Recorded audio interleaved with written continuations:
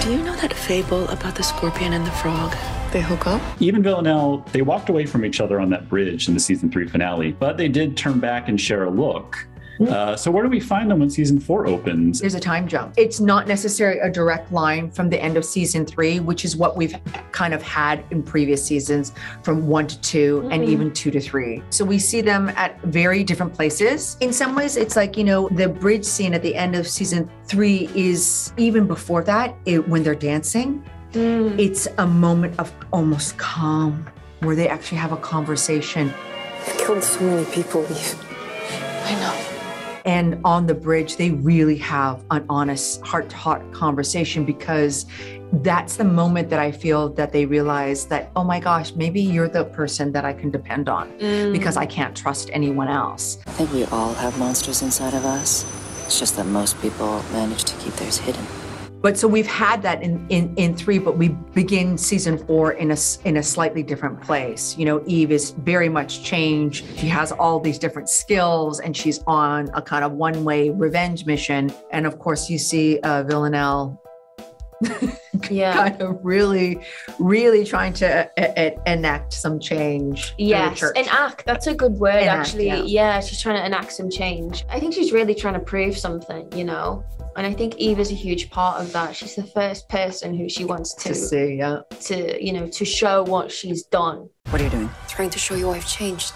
If you'd really changed, you wouldn't have come here. Oh, if you'd really changed, you wouldn't have led me. I don't think she's quite sure of what it is she's trying to achieve in a sense of I think she's trying to prove people wrong and I don't think that ever gets you anywhere you know and I think there is a side of her that is inherently bad and and that she can't escape um and she's she's really confronted with that at the start of the season I killed two people last night after I tried really hard not to. Okay, well, that's not ideal. You mentioned the great dance scene in the season three finale as like a moment of calm for these two hmm. to actually spend time with each other. Eve said that if she and Villanelle were actually together, they would consume each other. We never make it that long. We consume each other before we got old. A lot of fans are rooting for this romance to actually happen between the two of them. But is it sort of doomed from the start? oh god is it doomed from the start You know, a proper romance is always doomed. It just no, just storytelling wise. That's why it's a romance. That's why it doesn't necessarily turn into a relationship, which can be boring.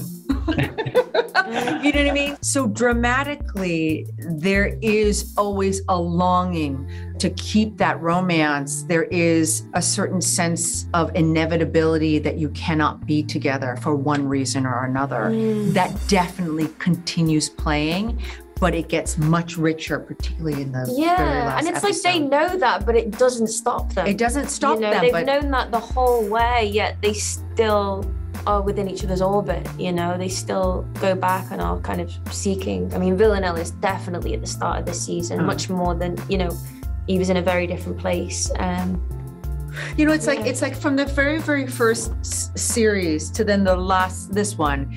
It's like these are two sparks that can barely be in the same room together.